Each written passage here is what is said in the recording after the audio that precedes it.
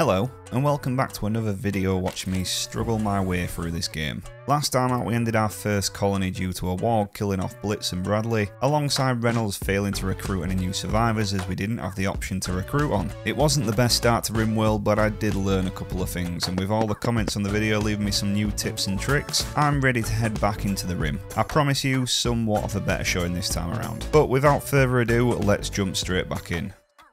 So, the usual jargon starting up a new colony. Randy was selected along with our adventure story difficulty, and we decided we were going to run with the same seed to try and get back into the same area. I believe a bit of continuity will help as we continue to learn the game. I'm not 100% sure, but I'm sure you will correct me if I'm wrong. Because we picked the same seed, we get the same survivors, so to spice it up a little bit, we hit the randomise button once on each of them. Our three new survivors are Mulligan, who looks quite the character in my opinion, quick sleeper, has a passion in a number of skills including crafting and medical and intellectual. Chef, who let me tell you right now is not a chef, again has a passion for construction, also with plants and art. And finally Bowman, an extremely good shooter with a high passion and a high level in intellectual. She does have a major artery blockage in the heart though, which doesn't seem like a good thing to me. For a starting group, they seem pretty strong apart from the cooking, but we'll work that one out as we go. Now, as we land, I can tell you we've removed the black bars, a beautiful full screen feed to see everything that goes on. For anybody wondering, my resolution was a little bit on the small side, and I'm also attempting to get used to my middle mouse wheel for the camera to give a smoother viewing experience. After a little look around the map, we noticed what looks to be another ancient danger close by, more on that one in a second. We gave the starter weapons out to the group, obviously Bowman was given the rifle due to a high level in shooting, Mulligan was given the revolver, and Chef had to settle for his little stabber. I'm not sure if it's the right choice, but Bowman was also forced to wear the starting armour that crashed down with us. But back to that ancient danger. My initial urge was to send everybody over and investigate, and to break down the wall to find out what was inside. Once I received the pop-up though, I decided against it as my fear of that phrase may contain a great danger. I decided to squirm away. It was time to begin construction on the new base. This time I had to put a little bit of planning into it though. Not quite as much as how big things were going to be and where they were going to go, but from the last episode, I know I need to keep my survivors happy and minimalise them breaks. We started with three bedrooms and a communal area for the group to eat and chill out in. That was then amended by two tiles as I wanted to centralise the door, but I failed miserably. We decided to run with it though and add the door over to the left hand side. We had another play around with the work screen, something that I was a little bit more familiar with now, and then we added two larger rooms to the side of the communal area. These will be our storage areas for any junk and everything else we need to store. There was a book lying around at the crash site called Rob's Introduction into Evaporation. This looked like a kind of skill but that teaches you the basics of the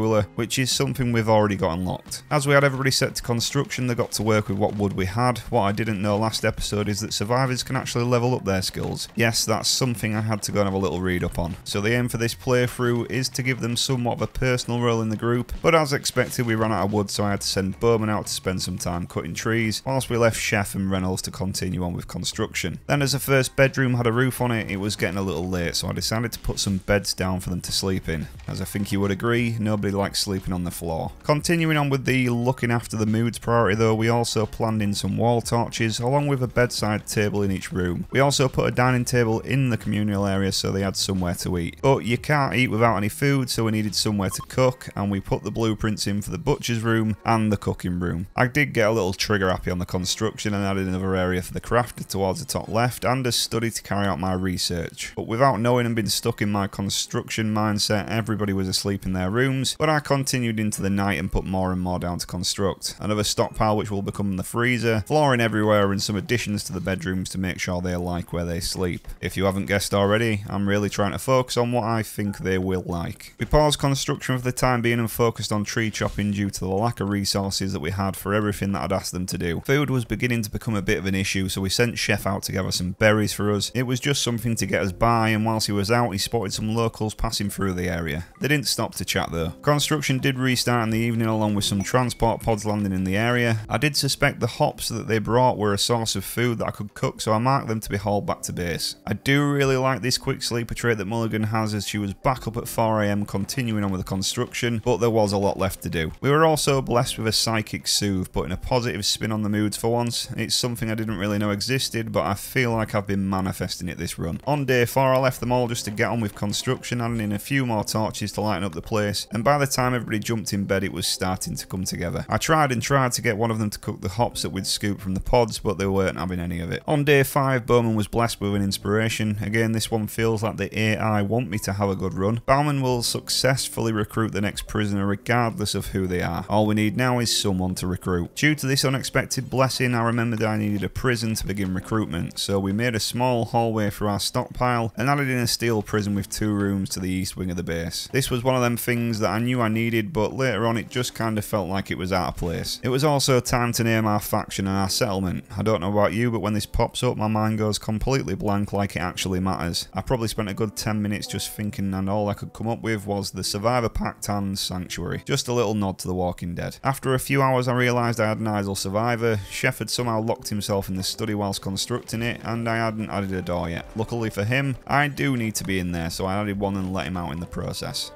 As we headed into day 6, pretty much everything was done apart from the prison. We even added some flowers to the bedrooms to add a little bit of beauty, and on a positive note, everybody did seem quite happy. One thing that slipped through the net though was our food supply. We were down to the last 10 meals with no grow zone. So as we learnt last episode, we checked the fertility option, but there was nothing close that was great, so we settled for a large patch at the front of the base.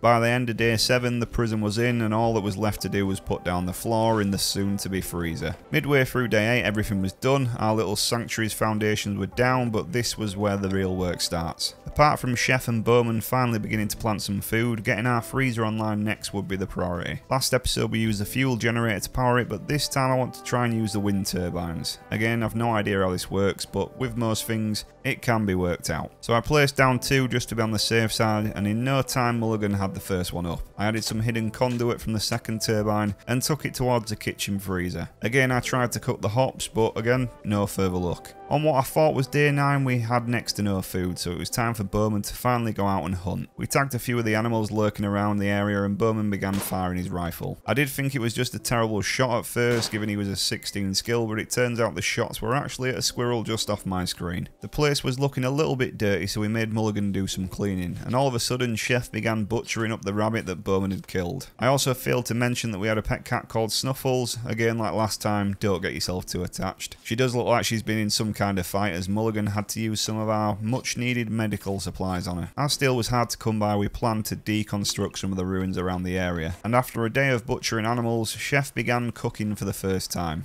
I did actually think that the three of them were incapable of cooking, but I'm obviously wrong. Bowman was coming in with the goods now whilst he was on the hunt collecting his first big game turkey. So as the meat was coming in, I decided to add in the cooler. And the power plan seemed to have worked as we could see the orange power line coming from the conduit we'd put in a few days ago. At this point, I don't know what day it is, but it went from kind of like the 15th of July to the 1st of August. I do think it's around day 11 though. And it's summer, so you know what that means? Parkas are needed for the winter. The second wind turbine finally went in in, and now I think of it, I don't think I actually ever wired this one up. And we've got a cooler up and running to look after our food. Like last time though, I had to install a second one as it just wasn't doing the job on the large room. I did begin further investigation into Bowman's needs so they could give me some tips on where to improve, but I was quickly interrupted by my first raid from the ash Ashpikes. Wonsan who is a wizard construction and in the social game, hopefully someone that will be joining our group very soon due to Bowman's inspiration. Wonsan was preparing for his raid but there was no time like the present so I drafted my group and sent them to him. One shot with Bowman's rifle and he went straight down. Not dead though, so he was taken back to the prison ready for recruitment. This time we made sure to check the recruit option was on as well. And we also made sure that Mulligan tended to his wounds to ensure he made it through the night. It wasn't long before we received another notification about another transport pod dropping. This time though, it had a survivor called Stephen from the nation of Natebum. Not the best skills in the world, but that small passion for intellectual gets me a little bit excited. So Bowman went out to collect him and put him in the other jail cell. Day 12 was where our first crisis began. The food shortage was beginning to affect us with no meals stored and just that one bit of whatever it is. This was also added to by Wonsan getting instantly recruited to the group so the need for food went up again. The gods did bless us with a silver ore but for some reason the run hasn't seen a lot of traders coming through. And after the last episode this wasn't a message I wanted to see. A timber wolf decided to hunt Chef. Luckily I used my strategic thinking and pulled Chef the long way around the base out of the wolf's path and drafted everybody behind the imaginary sandbags. There was a little bit of a scary moment where the wolf didn't seem like it was going to die, but we knocked it out and allowed Chef to stab it to death. Last episode this would have been our team down, but this time we had a new recruit and we took down the hunter. Bowman chopped the wolf up straight away as our food supplies were still non-existent. I did realise Wonsan needed a bedroom to sleep in, so we planned to do some jiggling around in the workshop area and added in a small bedroom for him. Instantly the screen began to shake and thunderstorms started. There were numerous fires around the map and at this point I knew my wooden base was about to go up in flames. Not quite the luck we'd asked for after such a positive start. I'm just kidding though. The fires went out so we lived to fight another day in RimWorld. It was time to send Bowman back out to hunt for food and to be honest the next few days were a blur due to just trying to get everybody back on board and keep them fed. We put in some mining plans as steel was becoming a hot commodity for building things. Everybody was just eating raw meat but we were met with an exotic goods trader passing through. I did send Wonsan out to do some trading but came to realise he couldn't talk properly because of his poor health. I did suspect this was due to his terrible mood but I later found out that he had a bad spine along with dementia. Gorilla also passed through and was willing to trade so Out Chef went to check on the goods but in all honesty neither trader had anything we really wanted. The next morning Wonsan was incapacitated due to his horrific mood so the priority was getting Chef to get his bedroom finished so we could get him back in bed. After a rough day we finally began cooking some meals from the hunting Bowman had done but all things cooking brought Mulligan close to a major break so she had to be sent off to bed. Luckily our rice plants were ready to harvest so the food issue finally began to dwindle but another animal decided to hunt Mulligan for food. I'm just mentally scared from the warg for every time I get one of these and think it's the end. Luckily Mulligan was close to home though, we got the crew drafted and went hand to hand with the Lynx. There were some injuries but no deaths which is the main thing. Through the night though, Wonsan and our prisoner Stephen ended up with the flu whilst both of our doctors were in bed recovering. Like I said though, these few days were just me trying to get by and after a few days of fighting injury and just getting everyone back out on their feet, we had another raid from the Ash Pikes. Just Lonely X in and her steel club, she didn't last long though as Bowman and Chef took care of business. I witnessed my first eclipse, Bowman began pigging out on food which isn't ideal but then we finally had a bit of good news. Bowman and Mulligan kindled up a little bit of romance after Mulligan complimented Bowman on her crafting skills. So we put the plans in place to create them a shared bedroom. I removed the beds from the new couple's bedroom but didn't get the double bed in place in time so Bowman slept in the kitchen and Mulligan slept outside. I did end up waking Bowman up though to finish the bed and then we sent them both into the bed for the first night together. We did end up with another raid from Trosmer. For some reason he decided to head inside whilst everybody was outside so we followed him in the door and put him to rest. And we gave one Sally short bow for the future. We were offered the ship to the stars quest again which looks to be in the exact same place as last time so that's something for us to work towards. Then after the chaos of the last few days we put some priority into getting everywhere cleaned up and by the end of the next day the sanctuary was back on its feet with meals in the freezer, clean rooms and some happy-ish survivors. It's been quite the journey so far in such a small amount of time but believe me when I say there is more to come from this group. I'm going to call this part one of a mini-series in the grand scheme of escaping RimWorld. I've been trying to think of a name for the series so let me know if you've got any ideas. For me I'm thinking a ship to the stars, a beginner's story. Also I wanted to try and make these videos the best I can so let me know if you feel I'm covering too much in each of the clips. I just like to show you the nitty gritty parts but if you feel some of it's not needed just let me know. Anyway drop a like if you want to see the next part of this mini survival and if you're new here hit the subscribe button so you get notified when the next video is out.